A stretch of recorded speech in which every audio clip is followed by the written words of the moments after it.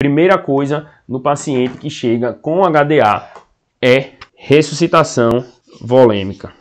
Primeira coisa que você vai ver no paciente com HDA é a hemodinâmica desse paciente. Antes de qualquer outra coisa, você tem que estabilizar esse paciente hemodinamicamente.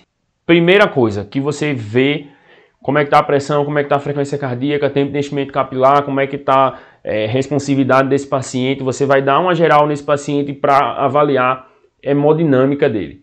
Beleza? A partir desse, dessa avaliação aqui que você viu como é que se esse paciente perdeu muito sangue, se ele perdeu perto de um litro, se ele perdeu até 500 ml, como é que mais ou menos ele tá, você vai administrar o que precisa, ou cristalóide, ringer, preferencialmente, ou fisiológico, ou se você vai fazer ringer ou fisiológico e sangue também, beleza? Então, depois que a gente é, estabilizou a hemodinâmica desse paciente, depois a gente fez a recitação volêmica desse paciente, vamos lá para os próximos passos, saber o que a gente vai fazer em cada situação específica. 1. Um, hemodinâmica. Segundo passo, depois que eu estabilizei esse paciente, ou que eu descobri como é que ele está, e eu avaliei como é que está a hemodinâmica dele para poder começar a corrigir, pedir para fazer as medidas, o que é que eu vou fazer? Laboratório. O que é que eu vou pedir do laboratório? Eu preciso saber o que, é que esse paciente tem, eu preciso saber se ele tem alguma alteração clínica, eu preciso saber se esse paciente ele tem alguma doença hepática de base, eu preciso saber se esse paciente tem uma descompensação da função renal, eu preciso saber se ele é um cardiopata, eu preciso saber. Então, tem algumas coisas que eu preciso saber para me ajudar na condução, tá? Então, vamos lá. O que é que eu preciso? O que é que eu preciso ver? HB e HT. Lembrar que não vai ser diferencial aqui no começo, mas eu preciso saber para eu poder acompanhar esse paciente, né? HB e HT. O que mais? Função renal. Esse paciente teve um comprometimento da função renal por causa dessa hipovolemia. Ele perdeu sangue suficiente para fazer uma, uma lesão renal aguda pré-renal. Eu preciso saber disso aqui. Eu preciso saber o que também? Eletrólitos. Existe algum eletrólito que eu preciso repor? Esse paciente tem alguma descompensação aí, alguma, alguma lesão, alguma alteração hidroeletrolítica que vai piorar mais o quadro dele. Eu preciso saber o que mais também? Coagulograma, né? Com o coagulograma, eu tenho uma ideia de esse sangramento foi porque ele tem a plaqueta baixa, ele tem alguma disfunção de coagulação. Essa disfunção de coagulação está relacionada a alguma doença hepática de base? Como é que está o INR desse cara? Como é que estão tá as plaquetas? Né? Como é que está... O que é que... Existe alguma alteração que justifique isso aí? Eu preciso ver também aqui, ó, bilirrubinas.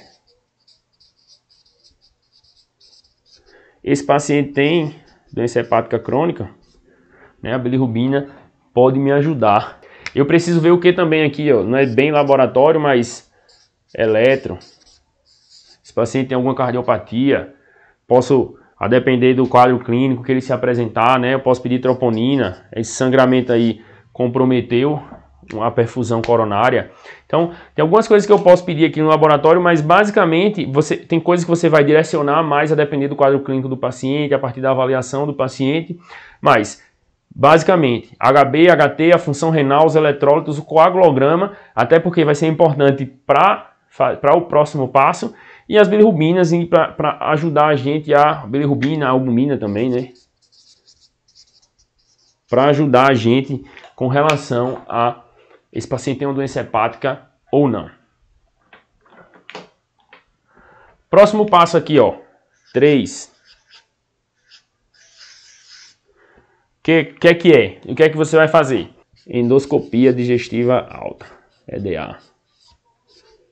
Então, todos os pacientes irão para endoscopia, 100% deles. Ninguém deixa de ir para endoscopia.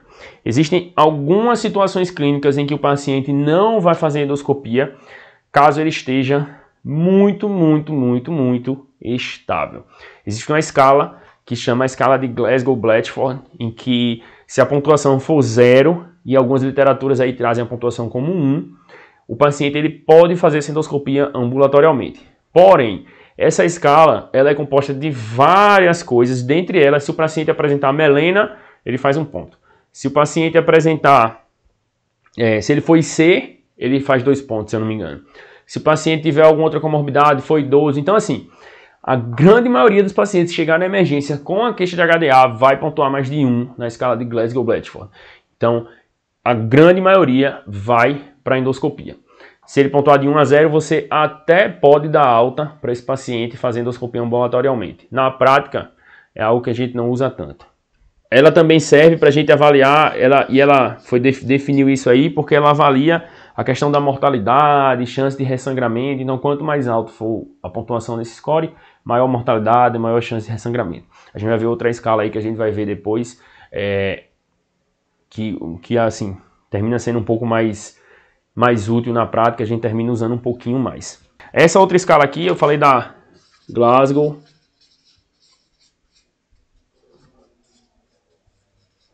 Glasgow Blatchford, que você vai dar alto ou não. E aqui tem a de Rockall.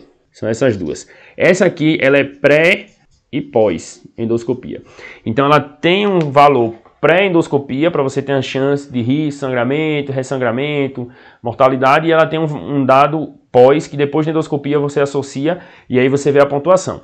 Quanto maior a pontuação na escala de Rockall pós-endoscopia, maior a chance de ressangramento, então mais atenção você precisa nesse paciente. Essa aqui termina sendo um pouquinho mais útil porque tem esses dados pré e pós-endoscopia. Beleza? Então, essa aí, assim, todo paciente que chegar, a gente vai estabilizar a hemodinâmica, solicitar o laboratório, solicitar a endoscopia e fazer essas escalas, essas escalas, né, particularmente a de Rockall pré e pós endoscopia.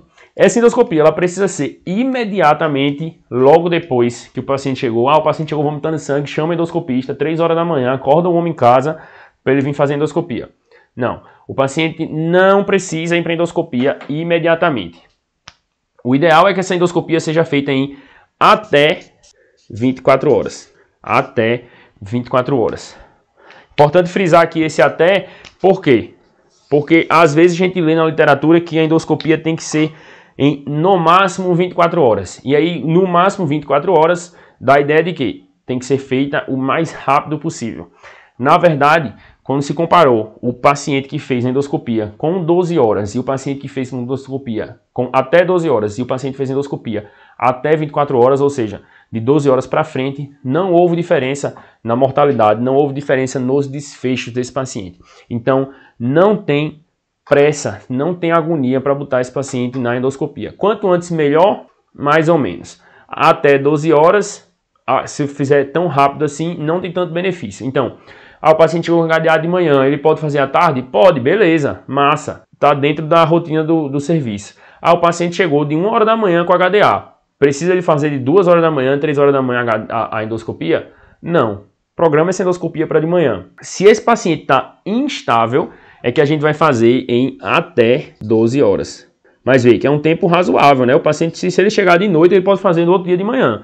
Então aqui, ó, só em caso de instabilidade. Paciente instável, a gente vai fazer em até 12 horas. Então, esse paciente, você tem esse tempo aqui para o quê? Para fazer o quê nesse tempo? Estabilizar a hemodinâmica. Deixa o paciente Beleza, deixa o paciente redondinho, faz o que precisa ser feito, transfunde o sangue, faz expansão volêmica, se precisar, faz plaqueta, se o paciente tiver plaquetopênico, menos de 50 mil plaquetas, geralmente o pessoal não faz endoscopia.